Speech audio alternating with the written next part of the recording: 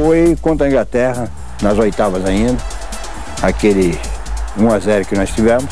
Para mim foi minha, minha melhor partida dentro da, da, da Copa do Mundo. Tem um lance, um lance muito, vamos dizer, para mim, foi muito dolorido, porque eu levei um pontapé na cara. Depois de ter feito uma grande defesa, uma, uma cabeçada do Lee, eu soltei a bola.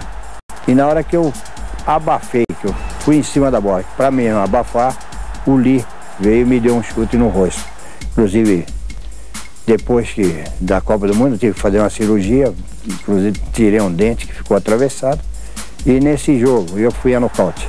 Eu levei a pancada, continuei praticamente para voltar à minha condição normal só na, na, no intervalo. Essa do, do, do, chute também que eu levei, também foi uma grande defesa.